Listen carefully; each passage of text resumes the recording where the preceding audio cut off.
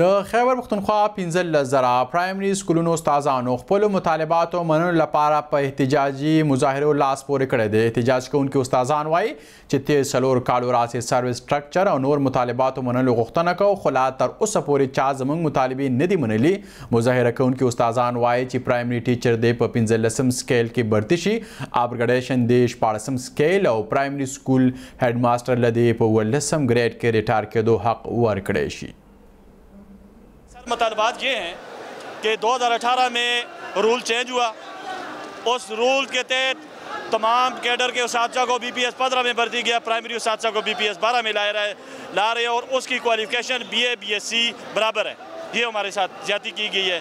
एक मतालबा हमारा ये है दूसरा ये है कि इस वक्त पेंशन की असलाह जो करके हमारी पेंशन कटौती में कादगन लगा दी गई है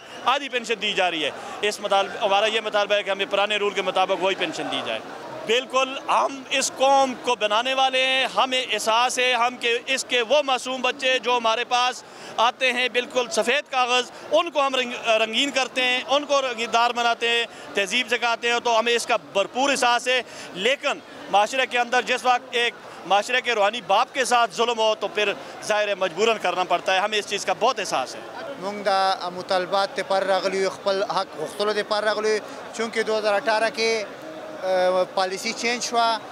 زمونږ پاره کوالیفیکیشن چې ده هغه بي اې ده سلیکشن پاره او سي ټي ډي ایم ایس ایس ټي د پاره کوالیفیکیشن چې ده هغه دغه بي اې ده هغې ته پند راورکړئ زمونږ ته بار راکړئ دا زیاتوب دی. نو دې پاره چې دا مختلف سیمینار وسل مختلف کنونشن وسلې مختلف ملاقاتونه وشول او په هر ملاقات هر کنونشن کې مونږ ته دا تسلی راکړه چې دا تاسو حق ته مونږ به تاسو درکو خو چلورو کالو راځي زمونږ ته نه راکوي استاد چې دا هغه په سړکونو خپل نه ښکاري سکول کې خو مجبورا دی هغه ته راوتلی یو دا زمونږ مجبوري ده چې دا راووتلو په احتجاج مجبورې شو مونږ حکومت ته دا خواست کوو چې مونږ ته دا راکا خپل څوم کوم حق مو ده هغه راکه مونږ به دا ختم کو. او دا احتجاج چې دی نو دا د دوه دریو بجو نه شروع شوی دی دا د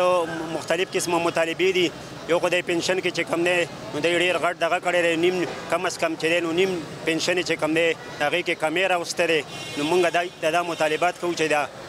زړه طریقه چې کومه ده د پنشن ده دا دې به حل کړی شي بل دا د پی ایس ایچ ټي پرایمري سکول لپاره چې کوم دی د دې تعلیم چې کوم دی نو بي ای دغه او دغه سي سي ټي چې کوم دی نو هغه په میډل او په های کې چې کوم دی هغه یې چې نه 15 سکیل دی او دلته په پرایمري کې چې کوم دی د پی ایس ایچ د پی ایس ټي لپاره چې کوم دی نو 12 سکیل دی نو موږ دی حکومت نه دا مطالبه کوو چې د پی ایس پی ایس ایچ ټي چې په پرایمري سکول کې چې نو دی له دې 15 سکیل ورکړي شي نه جی زیاته دا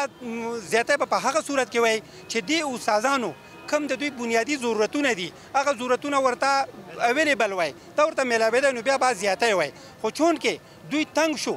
یو طرف ته په پنشن کې کټوتی کیږي بل طرف ته مراعات ورته هغه شند نشته مهنګای د اسمان سره خبرې کوي ټیم په ټیم باندې سیزونه ګرانیږي نو په دې وجه باندې دغه د استاد تنگ شو مجبور شو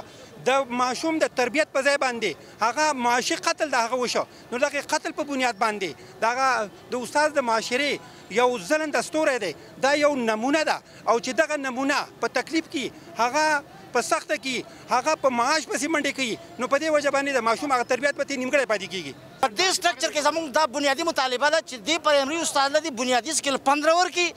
او د د اپګریډیشن دې په 16 کې وکړي او ریټایرمنټ دې په 17 کې ورکړي نو دا استاد به د دې معاشي بې حالۍ نه چې کوم دی په امن کې شي او د دوی سره دې په هر ډیپارټمنټ کې په هر ځای کې لکه دی چې خپه اوچتۍ د بلې محکمې لپاره چې کوم دی نو ټي ای بي لې پاس کېږي او دغه له ورکول یې کېږي او استاد نه تیارې کټ کوي نو دوی دې باقاعده چې کوم دی د دې نه اضافي کوم سروې دغه کوي نوکري کوي ډیوټي کوي په هغې دې له ټي ای بي لې ورکوي او د دوی د دې دغه نه دی چې کوم دی دا سیاسي دغه اوچت کړي دوی له دې خودمختاري ورکي زه دا دی ما درخواست ورکړی دی د اکم جولای باندې ما ته بین لګېدلی دی دفتر په ما پسې بند کړی دی چې بین لګېدلی ستا بدلي نه کېږي زه به د قیامته پورې په انیس کیلومترو پیاده ځم دا ولې دوی داسې کوي دوی له دې خودمختاري ورکي د خپل زمونږ ډپارټمنټ ایجوکیشن چې کوم دی زمونږ بالا افسر دی ډي ای او هغه ته دا اختیارات ورکي چې به یې دوه کاله درې کاله یو استاد په یو ځای پاتې کېږي فورا خپل تبدیل ورکړي هغه یې بې اختیاره کړي دي.